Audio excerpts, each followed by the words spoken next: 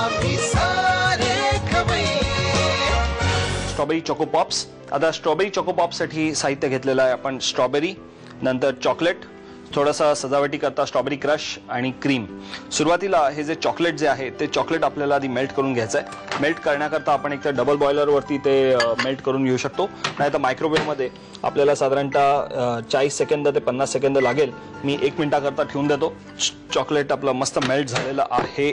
आपण ते आता जरा टेम्पर करून घेऊ. टेम्पर करून घेणं म्हणजे मी ते चांगलं प्लेन करून घेतोय. आता स्मूथ करून घेतोय.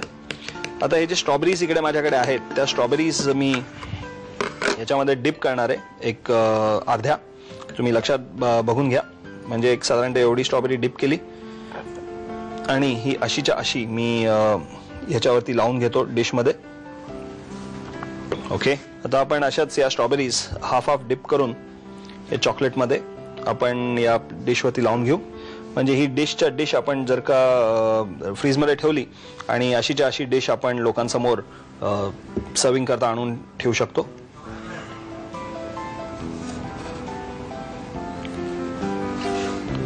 ग्रेट सो आपलं हे डेझर्ट आता तयार होत आहे पण ते कंप्लीट होण्याकरता आपल्याला हे फ्रीजमध्ये ठेवणं फार महत्वाचं आहे. फ्रीजमध्ये एक साधारणतः दहा ते पंधरा मिनिटं आपण ठेवूया. म्हणजे चॉकलेटसुद्धा छान क्रिस्प होईल स्ट्रॉबेरीज छान गार होतील आणि त्याच्यावरती आपल्याला आता काय करायचं आहे किंवा कसं सजावट करायची आहे ते सुद्धा मी तुम्हाला दाखवेन.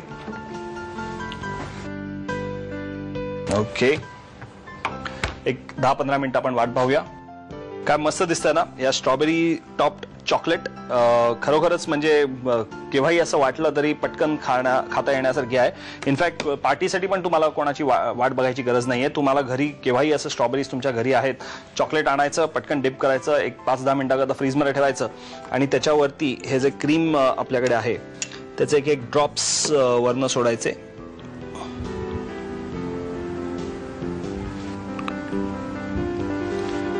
फर्स्ट क्लास आणि आपल्याकडे एक क्रश पण आहे. आपण एक लाईन क्रशची पण सोडूया.